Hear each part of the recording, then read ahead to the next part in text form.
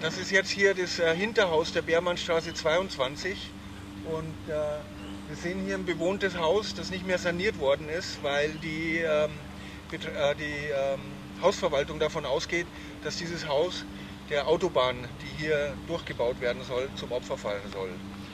Und äh, das Haus ist bewohnt, ähm, groß, zum Großteil bewohnt.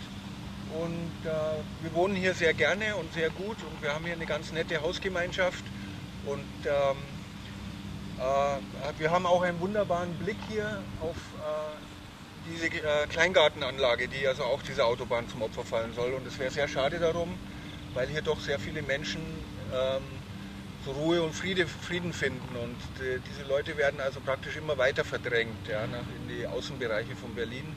Und das muss alles nicht sein. Ähm, diese Notwendigkeit dieser Autobahn ist in der heutigen Welt, wo es eigentlich ähm, um Schadstoffbegrenzung geht und um äh, dem Klimawandel eigentlich Einhalt zu gebieten geht, ist von dieser Seite eigentlich diese Autobahn her nicht mehr angezeigt. Ist nicht mehr notwendig. Ähm, man kann ja gar nicht davon absehen, dass äh, in der Zukunft so, äh, so äh, Massenindividualverkehr eigentlich, so wie er heute da äh, stattfindet, noch stattfinden wird.